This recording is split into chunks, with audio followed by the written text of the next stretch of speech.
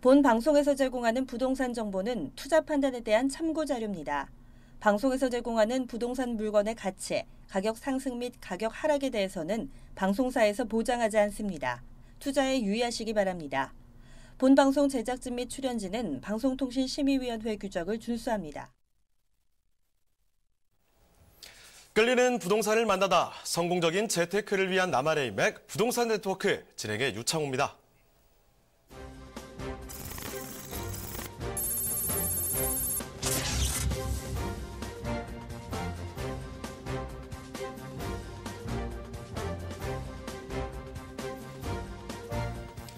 오늘의 부동산 헤드라인입니다. 서울 부동산 시장이 정부 규제와 금리 인상 요인으로 관망세로 돌아서면서 10주 연속 하락세를 이어갔습니다. 강남은 급하게 시장에 나온 물량만 간헐적으로 거래될 뿐 매수세가 끊어진 모습을 보였습니다.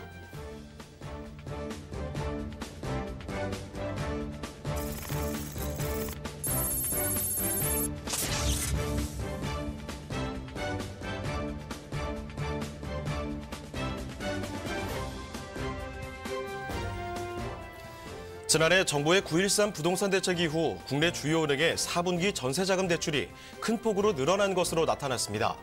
은행권에 따르면 주요 은행들의 지난해 12월 말 전세자금 대출은 62조 9,711억 원으로 집계됐습니다.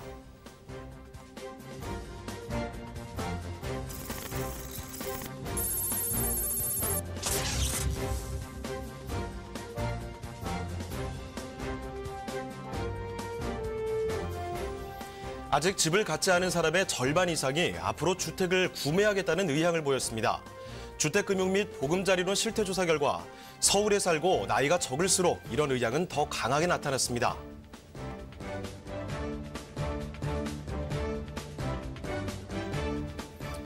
네, 상반기 3기 신도시 3차 택지지구 발표를 앞두고요. 이 정부가 약속한 수도권 30만 가구 공급의 중장기적인 축소 가능성이 높아졌습니다. 아, 3기 신도시는 뭐 서울 집값 상승을 막기 위해서 공급 확대 신호를 보낸 것이라고 볼 수가 있죠. 자, 그런데 이 서울 집값의 하락이 정부가 원하는 수준을 유지하게 된다면 아, 정책 추진을 늦추거나 축소할 수도 있겠다 이런 말을 밝히고 있는데요. 자, 지금 인근 지역의 미분양 우려 또 이와 함께 토지보상금 협상 문제도 큰 영향을 미치고 있다고 합니다. 자, 이런 점 꼭 알아두시고요. 네, 저희 부동산 네트워크 월요일부터 금요일까지 매일 오전 11시입니다. 부동산 전문가들과 여러분을 직접 연결시켜 드리는데요. 자, 먼저 참여하시는 방법부터 알려드리겠습니다. 아, 방송을 시청하시다가 궁금한 점이 있으시거나 또 전문가와 구체적인 상담 필요하시면요. 언제든지 전화 주시길 바랍니다. 서울전화 2128-8560번, 서울전화 2128-8560번으로 전화 주시고요. 문자 메시지도 받고 있습니다. 문자로도 궁금한 점 남겨주시길 바랍니다. 또 유튜브를 통해서 실시간 참여가 가능합니다. 유튜브에서 이 알토마토로 검색을 하시거나 주소를 직접 입력해서 들어오시면 되는데요. 여러분의 많은 참여 부탁드립니다. 자, 그럼 화면을 통해서 참여 방법 다시 한번 정리해 보겠습니다. 대한민국 전국 각 지역을 실시간 연결하는 부동산 네트워크. 여러분도 참여할 수 있습니다. 첫 번째, 페이스북 라이브 방송을 통한 실시간 참여. 페이스북에서 알토마토를 검색하거나 주소를 입력해 들어오세요. 페이스북 라이브 방송에 여러분의 궁금증을 올려주시면 바로 바로 해결해 드립니다. 두 번째, 전화 참여. 02-2128-8560, 02-2128-8560으로 전화 주세요. 상담을 통해 여러분의 부동산 고민을 해결해 드립니다. 대한민국 부동산 전국망 부동산 네트워크. 지금 바로 시작합니다. 네, 금요일에 함께하는 부동산 네트워크 본격적으로 출발해 보겠습니다. 자, 먼저 함께해 주실 전문가부터 소개를 해드리겠는데요. UNS 하우징의 신경철 부대표님 나와주셨습니다. 네, 부대표님 안녕하세요. 네, 안녕하세요. 네, 인사 말씀 부탁드립니다. 어, 이제 오늘은 어떤 얘기를 할 거냐면 작년에 이제 부동산 시장을 한번 살펴보고 올해는 어, 어떻게 될 것인가를 예측해보는 뭐 그런 시간을 한번 이제 가져보려고 하겠습니다. 작년에는 이제 다 아신 바와 같이 우리나라 부동산이 많이 뜨거웠어요. 서울의 집값들이 많이 올랐고요. 반면에 이제 지방은 이제 상대적으로 떨어진 양극화 현상이 이제 일어났는데 그런 점에 대해서 한번 살펴보는 시간을 갖도록 하겠습니다. 네, 이 주택시장 침체 계속되고 있죠. 부동산의 양극화 현상 부 대표님께서도 말씀을 해주셨지만 계속해서 심화되고 있습니다. 자, 그래서 오늘 부 대표님과 함께 이 양극화 현상에 대해서 진단을 도와드리도록 하겠습니다. 자, 그럼 강의 한번 지금 전해주시죠. 네. 작년에 이제 부동산에 대해서 이제 지방이 좀 이렇게 그 서울이 뜨거웠던 반면에 지방은 별로 좋지 않았어요. 그러니까 그 이유가 이제 뭔가를 한번 곰곰이 살펴보게 되면은 이제 지역 산업의 침체가 이제 그 주요 요인이라 이렇게 할 수 있겠어요.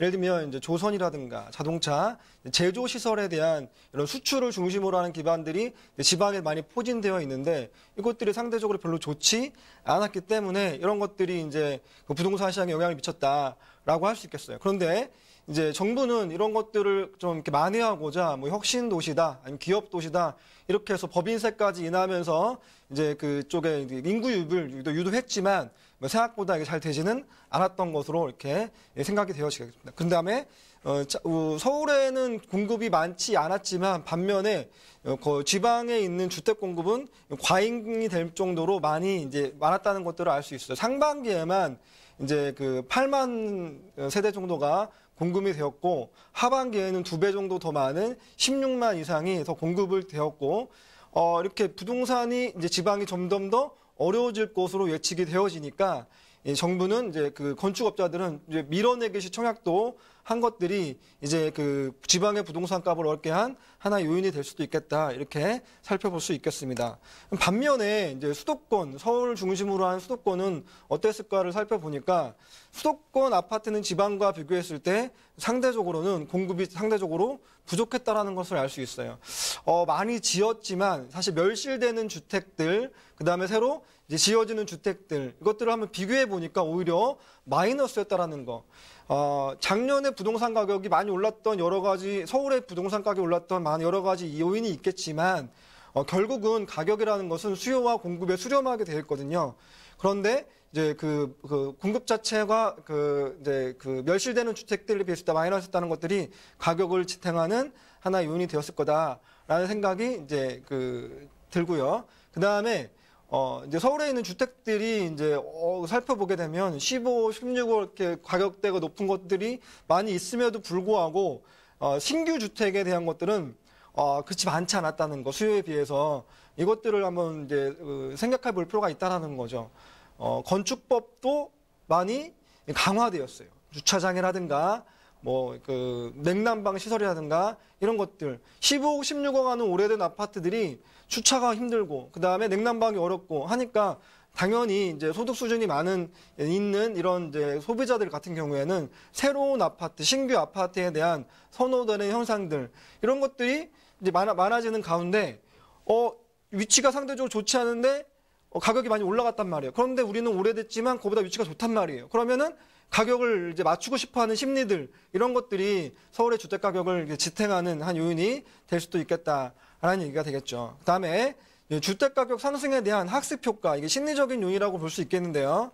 자, 어, 이제 주택 가격 상승 우리가 이제 서울 중심 소위 말하는 똘똘한 한 채 이런 것들을 이제 보면은 어, 정부가 아무리 이제 그 규제를 하건 그 다음에 경기가 아무리 좋지 않건 서울에 이제 집을 가지고 있는 사람들은 이런 기대감이 있어요. 자, 올해가 지나면 이제 좀 이제 우리 서울에 가지고 있는 집은 이제 좀 좋아지겠지. 정권이 바뀌면 뭔가 이제 규제가 더 풀리지 않을까? 그 다음에 저 경기가 좋아지면 아, 이게 소비가 좋아지니까 내 부동산은 살아남겠지. 라는 이러한 심리적인 요인이 있는 반면에 지방에 집을 가지고 있는 분들은 이제 상담을 통해서 알 수 있는데 아, 빨리 처분하고 서울에 올라와야 되겠다. 이렇게 말씀하시는 분들이 굉장히 많이 있었다는 거죠. 이런 것들도 이제 수도권의 수도권과 지방의 부동산 가격에 대한 양극화를 심화시키는 요인이 될 수도 있겠다.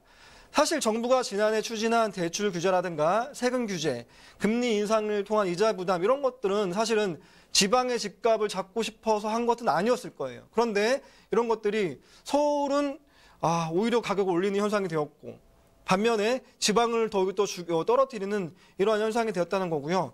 그 다음에 오늘 또 시사가 되는 반가 뭐냐면 정부의 의지는 뭘까? 3기 신도시를 이렇게 공급책으로 만들면서 하는 정부의 의지가 뭘까? 예전에는 혁신도시다? 아니면 뭐 수도 이전, 뭐 행정 수도 이전이다 하면서 지방으로 서울의 인구를 분산시키고 싶었었는데, 아, 이번에 발표된 신도시를 보면 다 서울 중심권의 인근에 있는 뭐 하남, 뭐 남양주, 계양, 뭐 이런 곳이란 과천 이런 곳이란 말이에요. 아, 이런 것들은 정부의 원래 이제 그 부동산 가격의 핵심인 축을 앞두고 어, 지방으로 이전시키는 것이 아니라 이 축을 좀더 이게 그 널, 널 확대시키는 메갈로폴리스의 개념이 이, 아닌가. 어, 지방은 그러면 이 정부 포기했나? 뭐 이런 어, 듯한 느낌도 가질 수 있다라는 거죠. 자, 그래서 이러한 아, 지방은 안 돼. 어, 그래도 살아남은 곳은 서울이야. 라는 이러한 심리적인 요인들이 좀 더 가속화되어지면 올해도 부동산의 그 양극화는 좀 더 확대되지 않을까 이렇게 예측해 볼 수 있겠습니다.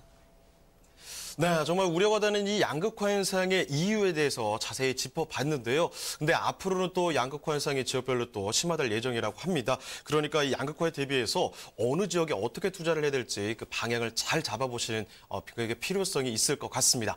자, 그렇다면 자, 부대표님 여기서 또 더 많은 이야기를 들려줄 수 있는 그 무료 세미나가 있다고 들었는데요. 소개 좀 해주실까요? 예.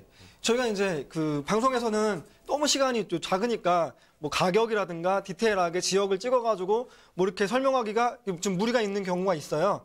그래서 준비한 세미나가 있는데요. 수요일하고 토요일 오후 1시에 이제 준비가 되어 있습니다.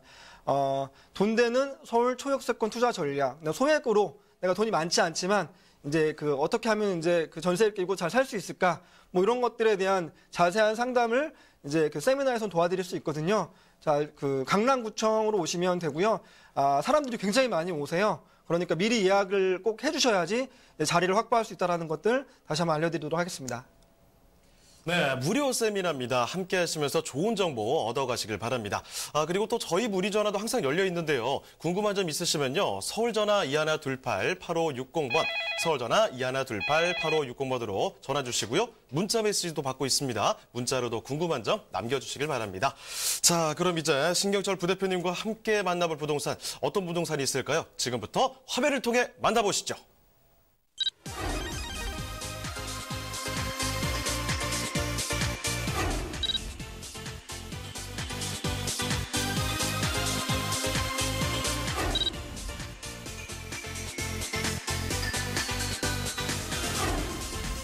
신경철 부대표님이 선정해주신 첫 번째 부동산 네트워크. 강서구 등촌동에 위치한 오피스텔입니다. 편리한 교통 환경으로 업무지구로의 접근성이 우수한 등촌동 오피스텔의 위치부터 확인해 보겠습니다. 등촌동 오피스텔은 9호선 등촌역으로부터 도보 약 3분 거리에 위치하고 있는데요. 황금노선이라 불리는 9호선을 이용해 업무지구로 빠르게 이동하실 수 있어 직장인들의 선호가 높은 지역입니다. 더 자세히 이야기 드리자면 등촌동은 서울 서부권의 주요 업무 지역인 여의도, 상암, 마곡지구와의 접근성이 우수한데요. 대형 업무단지에 종사하는 직장인들이 생활 편의성과 자녀 교육을 위해 선호하는 주거 지역이 바로 이곳 강서구 등촌동이라고 할 수 있습니다. 특히 주변의 교통 환경이 크게 개선될 호재 소식이 있는데요. 바로 2021년 개통 예정인 월드컵 대교입니다. 월드컵 대교가 완공되면 합정구와 마포, 또 상암 DMC 등 서울 서부권의 요충지와의 접근성이 크게 올라갈 전망이며 덩달아 분산 효과로 인해 인근의 교통체증 또한 개선될 것으로 예측되고 있는데요. 뛰어난 업무지 접근성과 우수한 교육 환경을 갖추고 있는 강서구 등촌동의 신축 오피스텔입니다. 네, 이 마곡의 어마어마한 호재를 뿜은 강서 쪽으로 와봤는데요. 강서구 등촌동, 뭐 학군으로 워낙 유명한 목동에 바로 붙어 있기 때문에 여기서도 학군의 수혜를 좀 기대해 볼 수 있을 것 같습니다. 자, 강서구 등촌동의 신축 오피스텔인데 부 대표님 어떤 곳인지 개요와 또 건물 특징 먼저 살펴주시죠. 네, 자, 설명하겠습니다. 자, 이 매물 같은 경우에는 그 부동산 투자 황금 노선이라고 할 수 있는 9호선 등촌역에서 도보로 약 3분 거리에 위치한 초역세권 매물 되겠습니다. 전용 면적이 29.07로 되어 있는 투룸 형태로 되어 있는 매물이고요. 총 15층 건물에 7층 가지고 오늘 소개하도록 하겠습니다. 아, 이제 준공연도는 2020년 8월 이제 준공될 예정이고요. 지금 이제 터 잡고 이제 땅 파는 토목공사가 한참 진행 중인 그런 매물 되겠습니다. 가격 이제 중심층 로얄층 개념으로 이제 그 선정한 가격은 2억 7천만 원 정도 예, 보시면 되겠고요. 그다음에 건물 특징 잠깐 설명드리면 이 중공업 쪽에 있는 아, 그런 비싼 땅에 있지만 있음에도 불구하고 아, 두 개 동으로 위치하고 있는데 이게 빽빽하게 이게 덜어선 것이 아니라 건물와의 동간 관계가 거의 30m 정도 되어지는 어, 쾌적한 환경을 유지하고 있고요. 이 건물 내부에 어, 그 공원들도 다 형성이 되어 있고 주차도 기계식 주차가 아니라 자주식으로 다 이렇게 그 지하 2층까지 파서 편리하게 할 수 있는 그런 매물로 설명드릴 수 있겠습니다. 네, 내년이면요. 이 아주 동 간격으로 충분하죠. 널찍 널찍하게 단지형으로 이렇게 올라갑니다. 신축 오피스텔을 소개해드리고 있는데 아, 지금 살펴드리고 원룸 말이죠. 투룸 구조를 갖추고 있습니다. 거기다가 완벽하게도 full option까지 준비가 된다는 점. 단지는 뭐 공원까지 조성이 될 것 같네요. 자, 여러 가지 장점들을 품고 있는데 무엇보다 위치 굉장히 좋습니다. 가장 먼저 설명해 주신 부분이 부대표님께서 9호선의 황금 라인 말씀을 또 해주셨잖아요. 입지가 대단한 것 같은데 사실 뭐 여러 가지 뭐 설명해 드릴 게 있을 것 같습니다. 자, 추천 포인트는 뭐가 있는지 입지가 또 어떤지도 자세히 보도록 하죠. 그러니까 우리가 이제 생각할 때 9호선이 이제 왜 황금 노선일까 이걸 한번 고민해 볼 필요가 있어요. 무슨 말이냐면 여기서 3분 거리니까 단순히 교통이 편리하겠다 이렇게 접근하시는 게 아니라 이 이제 9호선은 어디를 지나가냐면 김포에서부터 마곡, 그다음에 당산, 여의도, 강남, 사구를 다 지나가고요. 그 다음에 강동까지 연결되고 앞으로도 더 많은 이제 노선이 확장될 예교적인 거예요. 그러면 내가 이제 만약에 여의도에 사는데 어, 여기 전세가 너무 비싸단 말이에요. 그런데 이제 5, 분으로 지하철만 가게 되면 90만 원으로 월세 낮아질 수 있다라는 것을 이제 그, 그 소비자가 생각하게 되면은 아 충분히 가능성이 있겠다. 이게 이제 구호선량은 단순히 교통이 좋아졌다라는 것보다는 아 수요가 늘어났구나 이렇게 접근하시는 게 투자로서의 좋은 마인드가 될 수 있겠고요. 그 다음에 이제 지도를 보면 설명을 드리게 되면 물건지 마루 옆에 마곡지구가 있어요. 이 마곡지구 같은 경우에는 한국의 실리콘밸리라고 불려지는 아, 그런 지역인데 아, 그런 그 마곡이 이제 그 이제 그 기업들이 이제 들어온 게 다 들어오지 않았어요. 아직 이제 10%밖에 들어오지 않았거든요. 그리고 더 중요한 것은 판교형 모델이라고 보시면 되는데 판교보다 두 배 가까이 크긴 하죠. 그런데 판교에 비해서 여기 들어오는 기업들은 대부분 다 대기업들이 들어온다는 것들에 중심을 어, 집중을 하셔야 될 필요가 있으세요. 뭐 LG라든가 롯데라든가 그다음에 뭐 코롱, 이랜드 뭐 이런 우리나라 굴지의 대기업들이 들어오니까 아 이런 사람들이 급여 수준이 높으니까 아 우리 집에 만약에 살게 되면 세입자의 질이 좀 더 높아질 수 있겠구나라고 이제 생각할 수 있겠고요. 그 다음에 바로 옆에 이제 길만 건너면 행정구용상 목동이거든요. 이제 목동이라는 지역은 1단지부터 14단지까지 어, 우리나라에 가장 많은 이제 학군을 자랑하고 있는 아, 그런 지역이거든요. 그런데 이것들이 이제 작년에 막 들썩들썩 하다가 이제 재건축 연한이 40년으로 이제 연장된다는 말이 나오면서 살짝 지금 주춤하긴 하는데 너무 노후화됐고 그다음에 이제 층수가 낮기 때문에 재건축이 안 될 수는 없거든요. 이런 재건축 이슈가 나오면서 이 지역들이 한 번 더 영향을 받을 것이고 그다음에 이제 그 학군이 좋고 많은 이제 소비자층에 대한 수, 세입 어, 거주자의 교수 높기 때문에 우리나라 이제 스마트 시티로 지정이 된 곳이거든요. 이런 이제 스마트 시티 이슈 그다음에 그 이제 그 재건축 이슈 이런 것들이 이제 나오면서 고객 가격들이 한번 좀 더 탄력을 받을 수 있는 그런 인근에 위치했다라는 것들을 이제 알고 계시면 좋을 것 같고요. 그다음에 이제 그 여의도 여의도는 총 이제 우리나라 국제 중심 업무지구로 해서 이제 현재도 한 15만 정도가 이제 상주하는 지역인데 여기도 이제 재건축 이슈가 또 있잖아요. 이런 것들을 기대해 볼 수 있는 지역이고 이제 한창 공사가 그 진행 중인 월드컵 대교를 건너게 되면 바로 상암 디지털 미디어 시티가 위치해 있어요. 그러니까 왼, 어, 왼쪽으로는 마곡, 오른쪽으로는 이제 그 여의도, 그 다음에 인근의 목동, 그 다음에 거- 길을 건너게 되면 상암 아, 동까지. 그 다음에 이 어, 월드컵 대교를 건너가게 되면은 뭐 이제 신촌과 홍대 여기까지 이제 접근성이 좋아지는 뭐 이런 것들도 좀 생각해 볼 수 있겠고요. 그 다음에 어, 정부가 이번에 이제 3기 신도시로 개정한 대- 계양 테크노밸리도 바로 옆에 있다라는 거. 그 다음에 뭐 서부간선도로 지하사업, 국회대로 지하사업 이러한 굵직굵직한 정부의 개발 사업들도 같이 있는 이런 지역이기 때문에 아, 투자로서의 가치가 앞으로 좀 더 기대가 될 수 있는 아, 그런 곳이다 이렇게 설명을 드릴 수 있겠습니다.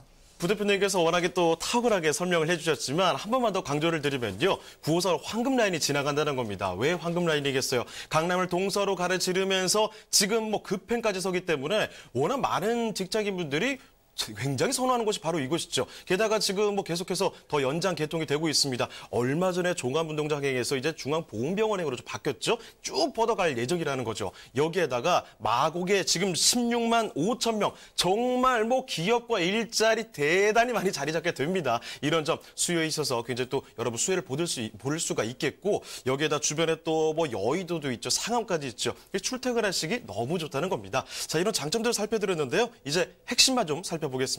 자 부대표님 핵심 투자 포인트를 본다면요. 예, 이제 또 9호선 계속 강조해서 말씀드리는데 자, 한강 축에 있고 그다음에 9호선을 끼고 있기 때문에 앞으로도 장기적인 수요층들이 더욱더 올 수 있다라는 이런 프리미엄들 기억하셨으면 좋겠고요. 아까 말씀드린 바와 같이 마곡과 여의도 그 다음에 상암 이런 곳에 일하는 분들은요. 자, 대, 대부분 이제 그 고소득층의 석박사급 인- 어, 사람 이런 분들이 거주할 가능성이 높기 때문에 세입자의 질이 많이 아, 좋아지겠다라고 생각하시면 되- 어, 좋겠습니다.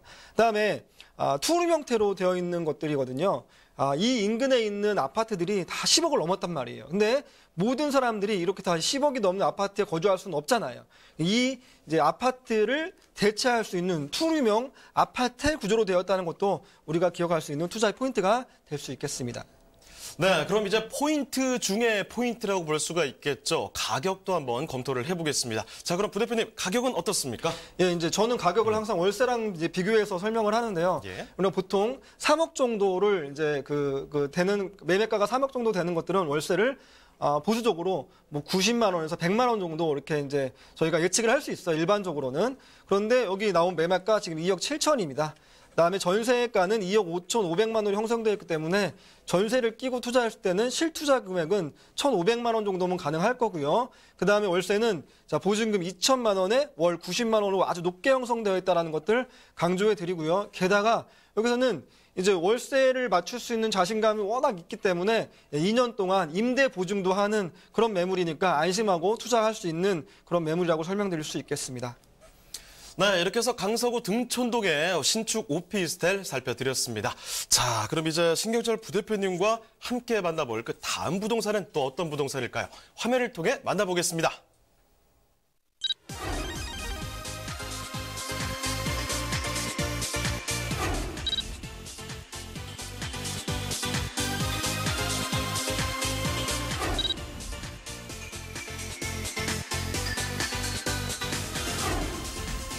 신경철 부대표님이 선정해 주신 두 번째 부동산 네트워크.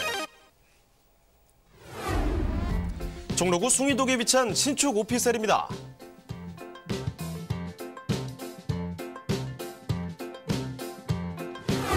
숭이동 오피스텔의 위치부터 확인해 보겠습니다. 1호선과 6호선 환승역인 동묘암역에서 도보로 1분이 채 걸리지 않는 역세권 오피스텔인데요. 1호선과 4호선 환승역인 동대문역도 도보로 이용 가능합니다. 서울 도심권인 종로구인 만큼 다양한 지하철 노선과 버스를 편리하게 이용하실 수 있을 뿐 아니라 도로 교통망도 잘 갖춰져 있습니다.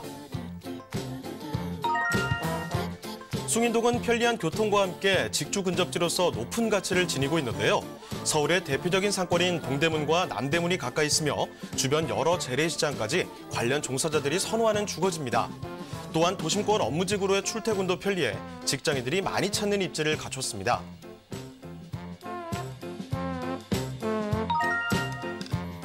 소개드리는 오피스텔은 2020년 1월 준공 예정인데요. 지하 2층에서 지상 17층, 총 128세대로 구성되어 있습니다.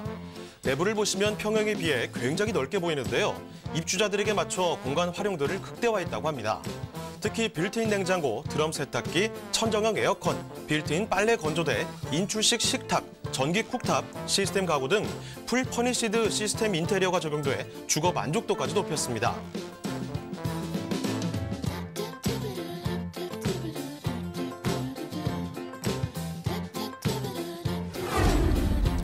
서울 중심 업무지구인 종로구는 주요 업무지구로의 접근성도 뛰어날 뿐만 아니라 주택의 희소 가치가 높은데요. 풍부한 배우 수요와 편리한 접근성 그리고 쾌적한 주거 환경으로 인구 집중과 상권 활성화까지 기대되는 종로구 숭이동의 오피스텔입니다.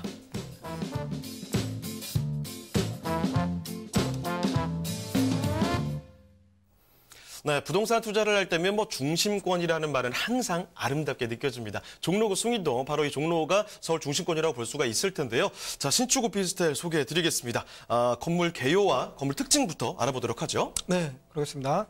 자, 종로구 숭인동에 위치한 매물이고요. 1호선과 6호선 네, 동묘암역에서 도보로 20초 그냥 걸어서 몇 발짝만 갈 수 있는 어, 초역세권에 위치한 매물 되겠습니다. 총 17층 가운데 5층 이제 설명드릴 예정이고요. 자, 방 한 개 원룸 구조로 되어 있습니다. 자, 2020년 1월에 이제 준공이 예정이니까 딱 1년 정도 남았다고 생각하시면 되고요. 자, 기준층 개, 어, 그, 가, 그 개념으로 자, 매매가 1억 4,800만 원 정도 생각하시면 좋겠습니다. 자, 지도를 어, 건물 잠깐 보여드리면요.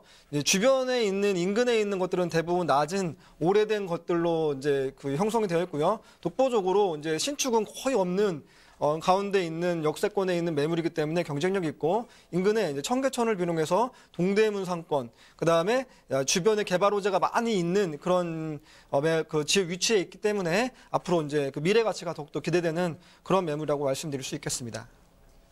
네, 이 숭인동 쪽에서 희소 가치가 있는 신축으로 소개를 해드리고 있는데 숭인동 일대를 조금 더 자세히 둘러보겠습니다. 자, 입지 호재적인 면도 굉장히 궁금하거든요. 좀 더 디테일하게 전해주시죠. 예, 제일 중요한 것들은 이제 서울 도심권 이제 10년 이하의 신축 건물이 자, 채 7%밖에 되지 않는 아, 그런 곳에 위치해 있습니다. 대부분 다 노후화됐기 때문에 신축 건물이 들어왔을 때 그만큼 이제 그 공실에 대한 위험이 적다라는 거, 이거 강조해서 말씀드릴 수 있겠고요. 자, 문재인 정부가 야심차게 추진하고 있는 도시재생 뉴딜 사업의 1호 지역에 해당하겠습니다. 창신 순인리의 선도지구에 예, 위치해 있는 지역인데 여기뿐만 아니라 주변에 그러니까 이제 그 투자를 할때 앞으로 좋아질 것이다. 이렇게 투자하는 것보다 지금도 좋은데 앞으로는 더 좋아질 것이다. 이런 게할때 더욱더 안전할 수 있겠는데 주요 3대 도심의 메가 상업지를 끼고 있는 곳에 위치해 있기 때문에 아, 현재도 좋고 앞으로 이제 그 개발 사업이 다 이루어지고 나면은 그 미래 가치가 더욱더 좋아질 수 있겠다라고 설명드릴 수 있겠습니다. 지도를 보면서 위치를 설명드리겠는데요. 자, 매물지는 동묘 압력에 바로 위치했다고 보시면 되고요. 자, 왼쪽으로 가게 되면은 동대문과 종각, 우리나라의 중심 업무지구가 밀집되어 있는 종로 바로 옆에 있는 아, 이런 지역이고요. 다 위쪽으로 이제 그 대학가 고대와 성신여대들이 있는 학군 수요와 오른쪽에 지금 가장 우리나라에서 이슈가 되고 있는 지역 중에 하나인 청량리 재개발 지역들을 자, 그 인근에 두고 있고요. 바로 밑에는 이제 왕십리 화학동까지 다 연결할 수 있는 아, 이런 핵심 입지에 위치해 있다고 말씀드릴 수 있겠습니다. 자, 계속해서 말씀드리면은 자, 동묘암역에서 초 어, 20초밖에 되지 않는 초역세권에 위치했다라는 거. 그다음에 동대문과 종로의 중심 상업을 다 끼고 있다라는 거. 그다음에 상대적으로 낮은 그런 가격에 이제 높은 월세를 받을 수 있는 지역에 있다라는 것들을 말씀드릴 수 있겠습니다. 네, 이렇게 정말 많은 이야기를 살펴드렸는데 이런 장점들의 플러스 하나 더 가격까지 좋다는 겁니다. 그 부분까지 짚어보도록 하죠. 가격 어때요? 예, 첫 번째 매물 설명드릴 때 말씀드렸었는데 네. 이제 그 투룸 같은 경우에 3억일 때 얼마다 라고 말씀드릴 수 있었는데 자 여기가 이제 월세가 얼마 나오냐면 이제 보수적으로 잡아도 천에 55만 원에서 60만 원 정도를 예상가로 잡을 수 있거든요. 그런데 아, 우리나라 천에 60만 원 정도 받으면 저가 생각하는 매매가는 1억 8천 정도로 이제 예상을 하고 있어요. 그런데 현재 나와 있는 가격 1억 4,800만 원입니다. 부가세를 포함한 가격이고요. 이렇게 했을 때 전설, 전세를 끼고 했을 때는 실투자 금액은 1,300만 원. 말씀드렸다시피 월세는 60만 원까지 받을 수 있으니까 가월비가 굉장히 높은 그런 매물이라고 설명드릴 수 있겠습니다. 네, 오늘 이렇게 해서 종로구 숭인동까지 신경절 부대표님과 함께 살펴드렸습니다. 자, 이렇게 부대표님과 또 함께 할 수 있는 시간이 무료 세미나를 통해서 마련이 되어 있는데요. 매주 수요일과 토요일 오후 1시 이 강남구청역 쪽에서 진행이 됩니다. 수요일에는 돈 되는 서울 초역세권 투자 전략이라는 주제로 그리고 토요일에는 서울 중심권의 소액 투자 무료 특강이라는 주제로 펼쳐지게 되는데요. 어, 여러분 많은 분들이 와주시기 때문에 아래 적힌 전화번호로 예약 전화 꼭 남겨주시고 오시길 바랍니다. 자, 그럼 오늘 함께 해주실 신경절 부대표님 부 대표님은 여기서 인사드리겠습니다. 네, 부대표님 고맙습니다. 네, 감사합니다. 네, 저희 문의 전화 항상 열려 있습니다. 궁금한 점 있으시면요. 서울 전화 2128-8560번, 서울 전화 2128-8560번으로 전화 또는 문자 메시지까지 보내주시길 바랍니다.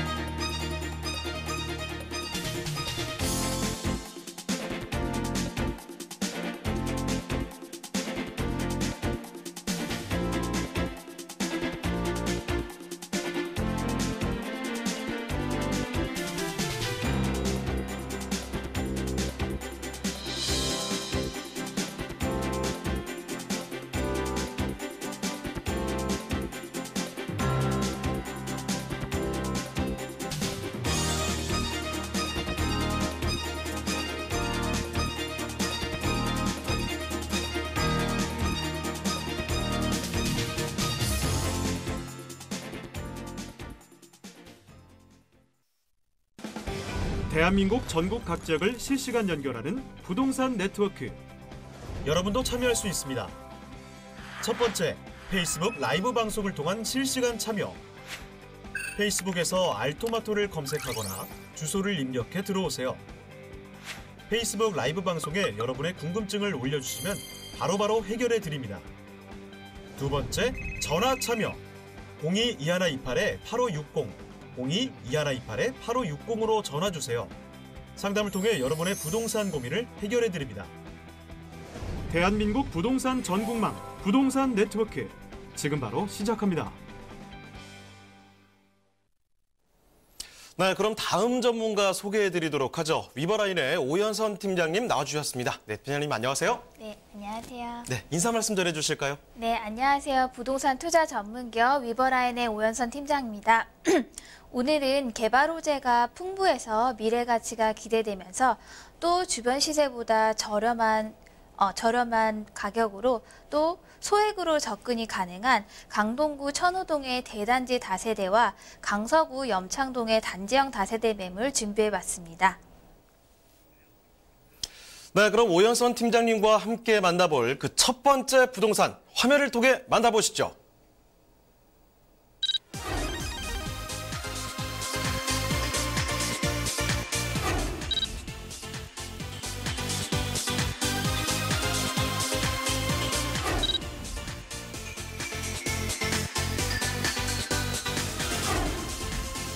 오연선 팀장님이 선정해 주신 첫 번째 부동산 네트워크. 강동구 천호동에 위치한 다세대 주택입니다.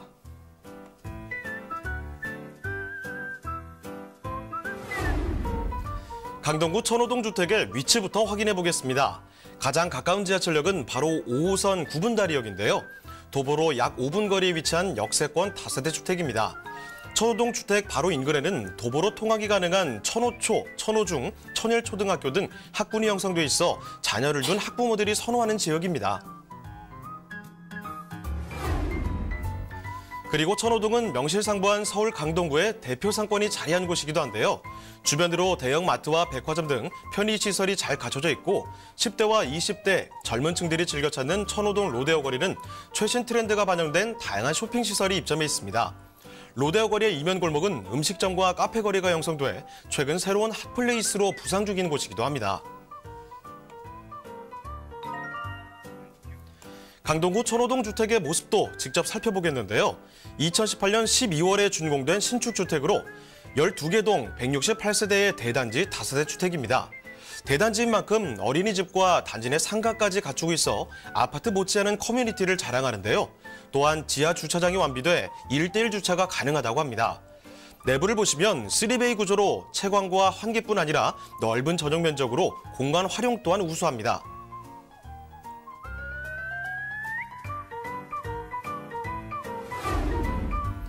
발달된 상권과 함께 쾌적하고 편리한 생활 환경을 자랑하는 강동구 천호동인데요. 탄탄한 배후 수요를 지녔으며 유동 인구 또한 풍부하고 강남과의 접근성도 뛰어난 강동구 천호동의 다세대 주택입니다.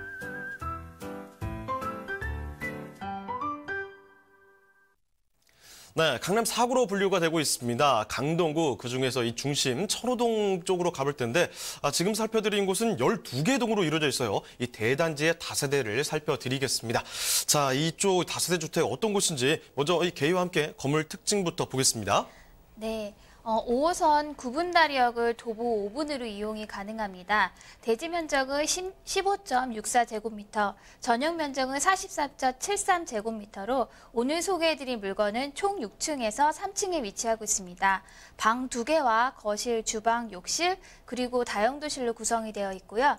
2018년도 12월에 준공이 완료되었습니다. 어, 매매가는 2억 7,430만 원입니다. 이어서 건물 특징도 같이 살펴보겠습니다.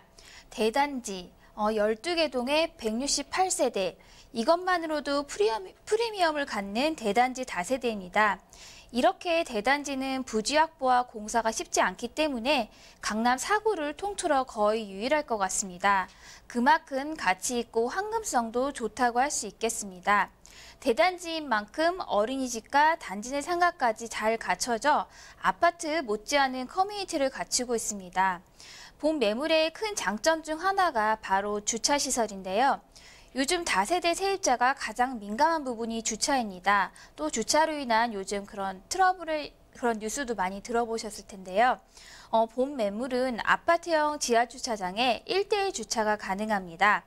지하 주차장이기 때문에 무더운 날이나 또 너무 추운 날, 비 오는 날도 너무 편하고요. 지하에 주차를 하시고 바로 엘리베이터로 집까지 이동하기 때문에 편리하게 이동이 가능합니다. 이에 따른 세입자의 선호도도 높습니다. 어, 3베이 구조로 체감과 환기가 좋고요. 실용적인 구조로 임차인이 선호하며 또 실내 공간도 사진에서 보시는 것 같이 깔끔하고 세련되게 인테리어 되었고요. 주변 다세대와 비교해서 여유 있고 넓은 전용 면적도 큰 장점이 되겠습니다. 네, 지금 12개 동의 대단지입니다. 우리만의 공간이 이렇게 마련이 되어 있는 거고요. 지금 저 준공된 지 얼마 안 됐습니다. 바로 지난달이니까 아주 따끈따끈한 신축이라고 소개를 해드릴 텐데요. 지금 살펴드리는 곳 3베이의 투룸 구조입니다. 워낙에 또 주차 공간도 넉넉하다고 하고요. 이렇게나 신축이기 때문에 사진 보셨겠지만 안에 그 내부의 세련된 인테리어 직접 확인할 수가 있을 겁니다. 이미 준공이 나와 있기 때문에 직접 가서 보신다면 더욱더 좋지 않을까 이런 생각이 들기도 하고요. 자, 건물 특징 한번 살펴드렸고 이제 어, 이 강동구 천호동 쪽의 입지와 또 어, 호재는 어떤 것들이 있는지 그 부분도 보겠습니다. 자, 입지와 호재도 한번 살펴주실까요? 네. 어, 광화문, 여의도 등 많은 직장을 지나는 오피스 라인이라고 불리는 5호선 9분다리역을 도보 5분이면 이용이 가능한 위치입니다. 도로망도 한강을 가까이 있기 때문에 올림픽 대교와 강변북로의 접근이 용이해서 어느 곳이든 편하게 이동이 가능한 위치입니다. 또 교통호재도 있는데요. 9호선이 3구간까지 개통을 한 상태고요. 또 4구간도 연장 개통될 예정입니다. 그리고 8호선도 연장 개통을 앞두고 있습니다. 9호선과 8호선 사이에 위치하기 때문에 교통망도 더욱 좋아질 전망으로 수요가 더 많아질 미래 가치가 기대되는 입지입니다. 어, 주거지로 이미 잘 형성이 되어 있기 때문에 대형 마트와 대학병원, 극장, 백화점 등 편의시설도 잘 갖춰져 있고요. 한강공원과 대형공원들도 근거리에 있어서 주거 만족도가 매우 높은 지역입니다. 또한 도보권으로 초등학교, 중학교, 고등학교까지 학군도 잘 갖춰져 있는 위치입니다.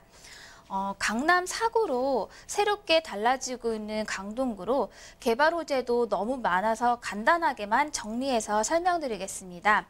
어, 강동구는 기존의 베드타운에서 벗어나서 서울 주요 3도심처럼 주거와 일터가 공존하는 자족형 도시로 거듭나고 있습니다. 동쪽의 대표적인 경제 도시로 떠오르고 있는 강동구입니다. 어, 먼저 고덕동의 약 7만 평 입지, 어, 문정동 법조타운의 한 반 정도 크기인데요. 강당, 강동구청 주관으로 고덕 비즈밸리가 2022년 사업 완료를 목표로 한참 진행 중에 있습니다. 어, 대기업 및 중소기업이 입주할 예정이며 또한 그 주변의 집값을 올리는 이케아와 백화점이 입점이 예정돼 있어서 고용 인구가 3만 8천 명으로 수요 증가에 따른 주택 시장도 활성화될 것으로 예상이 됩니다.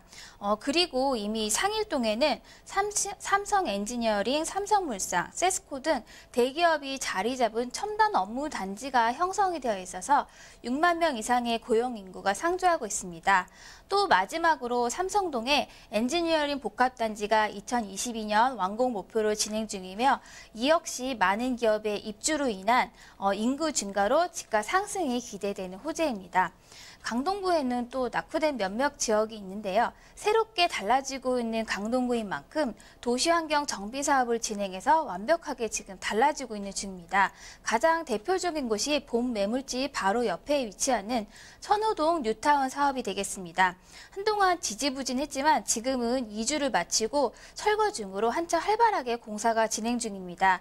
이렇게 이 일대가 대규모 주거지로 변모하게 되면 당연히 집값은 동반 상승될 수밖에 수밖에 없는 호재입니다. 이렇게 완벽하게 달라지고 있는 강동구가 아직은 저평가되었다고 볼 수 있습니다. 미래 가치를 보시고 투자하시기를 추천드립니다. 네, 지금 이 여러분들 많이 들어보셨을 텐데 뭐 역세권, 학세권, 숲세권 뭐 이런 이야기 들어보셨잖아요. 여기 다 해당되지 않을까 이런 생각이 듭니다. 여기에다가 지금 뭐 업무 단지들 엄청 조성되니까 사람들이 몰릴 수밖에 없죠. 그렇다면 부동산의 가치는 상승할 수밖에 없다는 겁니다. 여기에 또 뉴타운 이야기까지 해서 개발호자 어마어마하게 많이 지금 준비가 되어 있죠. 자, 그러면 이 얘기도 조금 더 어, 줄여서 핵심만 좀 볼게요. 자, 핵심 투자 포인트를 살펴본다면 어떤 것들을 꼽아볼 수 있죠? 예, 핵심 투자 포인트는 어, 본 매물을 우선 완공이 된 건물로 어, 직접 오셔서 신축 눈으로 확인하시고 어, 투자 입지를 확인하시고 투자하시는 게 포인트일 것 같습니다. 네, 교통, 학군, 뭐 인프라 다 좋고요. 여기에 여러 가지 개발 호재를 같이 갖고 있습니다. 자, 그러면 이제 그 가격이 어떻게 되는지 그 부분 한번 짚어드리겠습니다. 자, 팀장님 그럼 이 강동구 천호동의 주택 가격은 어때요? 네, 매매가는 2억 7,430만 원이고 어, 전세 예상 금액은 2억 5,500만 원으로 전세를 끼고 투자 시에는 어, 1,930만 원으로 투자가 가능하십니다. 월세 시에는 2천만 원에 월 80만 원으로 대출을 활용하신다면 7,430만 원으로 투자가 가능하십니다. 네, 이렇게 강동구 천호동의 다세대 주택까지 살펴드렸습니다. 아, 저희가 소개드리는 내용들 궁금한 점 있으시면요. 그리고 전문가와 상담 필요하시면요. 언제든지 전화 주시길 바랍니다. 서울전화 2128-8560번, 서울전화 2128-8560번으로 전화 주시고요. 문자 메시지도 받고 있습니다. 문자로도 궁금한 점 남겨주시길 바랍니다. 자, 그럼 이제 오현선 팀장님과 함께 만나볼 그 두 번째 부동산 아, 화면을 통해 만나보시죠.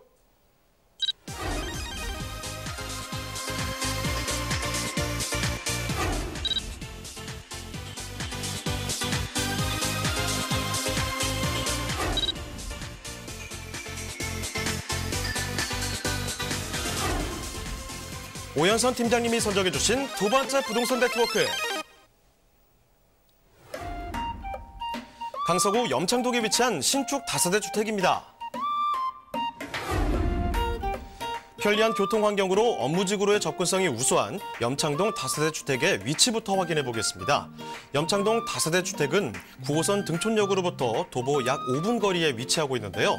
황금 노선이라 불리는 9호선을 이용해 업무직으로 빠르게 이동할 수 있어 직장인들의 선호가 높은 지역입니다. 더 자세히 이야기 드리자면 염창동은 서울 서부권의 주요 업무 지역인 여의도, 상암, 마곡지구와의 접근성이 우수한데요. 대형 업무 단지에 종사하는 직장인들이 생활 편의성과 자녀 교육을 위해 선호하는 주거 지역이 바로 이곳 강서구 염창동이라고 할 수 있습니다. 특히 주변의 교통 환경이 크게 개선될 호재 소식이 있는데요. 바로 2021년 개통 예정인 월드컵 대교입니다. 월드컵 대교가 완공되면 합정과 마포, 또 상암 DMC 등 서울 서부권의 요충지와의 접근성이 크게 올라갈 전망이며 덩달아 분산 효과로 인해 인근의 교통체증 또한 개선될 것으로 예측되고 있는데요. 뛰어난 업무지 접근성과 우수한 교육 환경을 갖추고 있는 강서구 염창동의 신축 다세대 주택입니다. 자, 이번에 저 반대쪽으로 와보네요. 강서구 염창동으로 떠나보도록 하겠습니다. 자, 염창동에 위치한 주택은 또 어떤 곳인가요? 개요 먼저 알아보고요. 그리고 건물 특징도 자세히 짚어주시죠. 네. 어, 9호선 등촌역을 도보 5분으로 이용이 가능한 위치입니다. 대지 면적은 22.14제곱미터, 전용 면적은 44.30제곱미터로 오늘 소개해드릴 물건은 총 6층 건물의 3층에 위치하고 있습니다. 방 3개와 거실, 주방, 욕실, 다용도실로 구성이 되어 있고요. 2018년도 9월에 준공이 막 완료되었습니다. 매매가는 3억 4천만 원입니다. 건물 특징도 같이 살펴드리겠습니다. 어, 최근 들어서 인구가 빠르게 증가하는 강서구로 주택이 충분하지 못한 지역으로 대기 수요가 넘치는 곳입니다.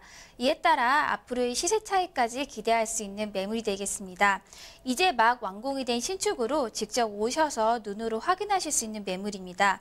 흔치 않는 세계동의 단지형 다세대로 보유 가치가 높은 매물이 되겠습니다. 단지형인 만큼 넓은 부지로 인한 주차 공간이 여유 있겠습니다. 요즘 임차인들은 주차 공간을 정말 중요시 여기는데요. 본 매물엔 주차가 큰 장점이 되겠습니다.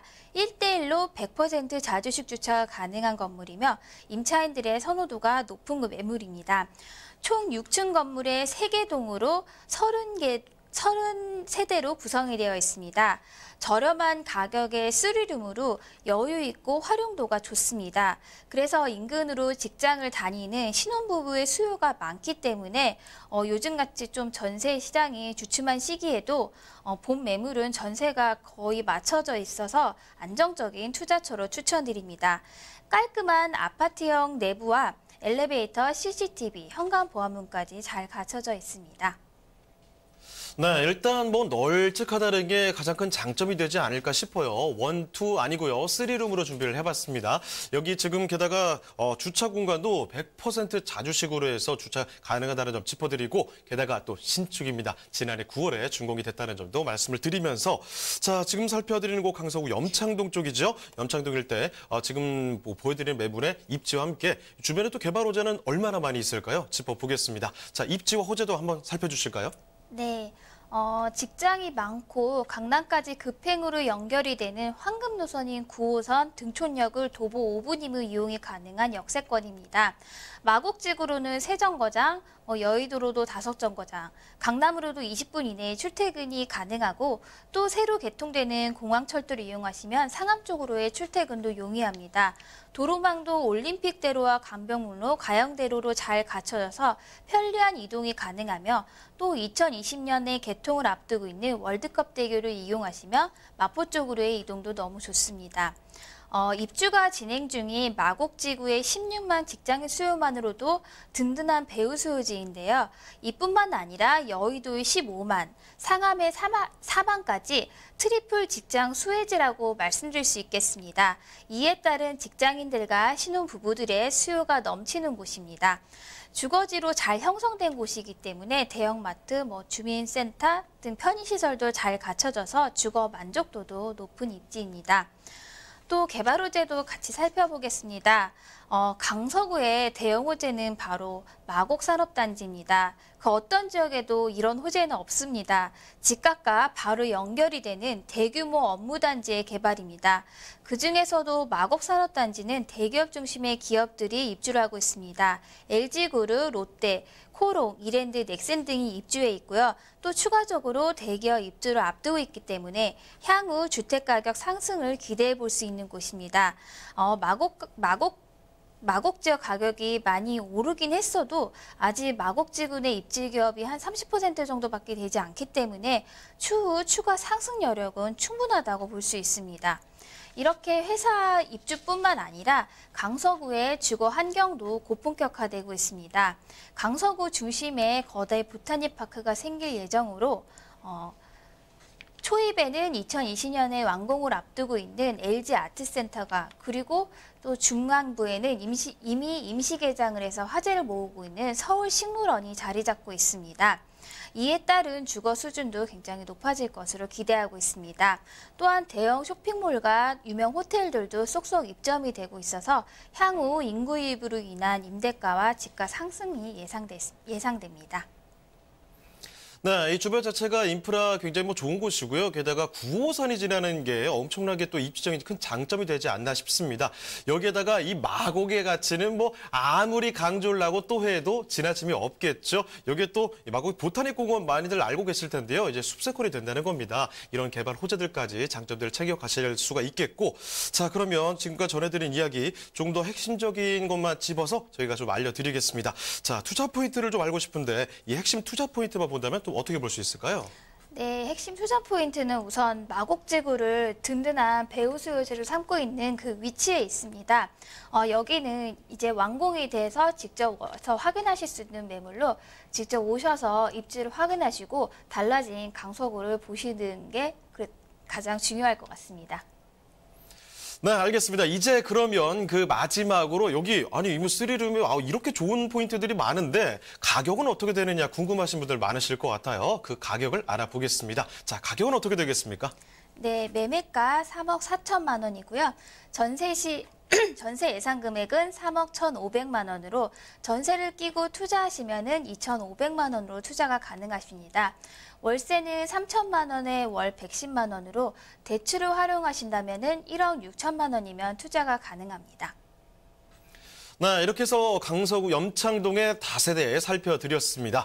자, 그럼 오늘 함께해 주신 오연선 팀장님은 여기서 인사드리도록 할게요. 네, 팀장님 고맙습니다. 네, 감사합니다. 네, 저희 문의 전화 항상 열려 있습니다. 궁금한 점이 있으시면요. 서울 전화 2128-8560번, 서울 전화 2128-8560번으로 전화 주시고요. 어, 문자 메시지로도 궁금한 점 받고 있습니다. 문자도 남겨 주시길 바랍니다.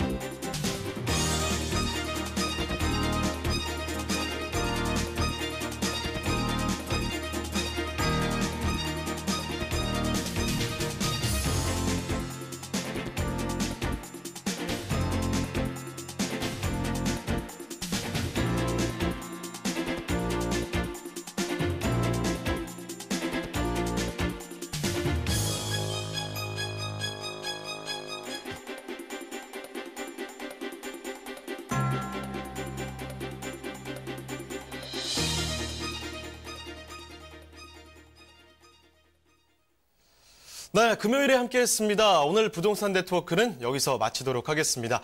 아, 방송이 끝난 뒤에도 상담 접수는 계속해서 이어지는 거 알고 계시죠? 서울전화 2128-8560번으로 전화 또는 문자 남겨주시길 바라고요. 유튜브로도 여러분 참여를 해주시길 바랍니다. 자, 그리고 저희 프로그램 무료 다시 보기 가능합니다. tv.altomato.com 들어오시면 무료 다시 보기 가능하시고 또 시청자 의견도 많이 받고 있으니까요. 여러분의 의견까지 남겨주시길 바랍니다. 자, 그럼 저희는 다음 주 월요일 이 시간에 더욱더 알찬 부동산 정보 갖고 다시 돌아오겠습니다. 시청해주신 여러분 고맙습니다.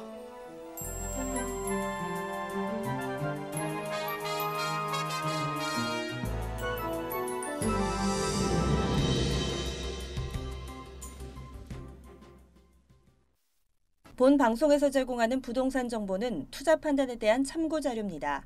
방송에서 제공하는 부동산 물건의 가치, 가격 상승 및 가격 하락에 대해서는 방송사에서 보장하지 않습니다. 투자에 유의하시기 바랍니다. 본 방송 제작진 및 출연진은 방송통신심의위원회 규정을 준수합니다.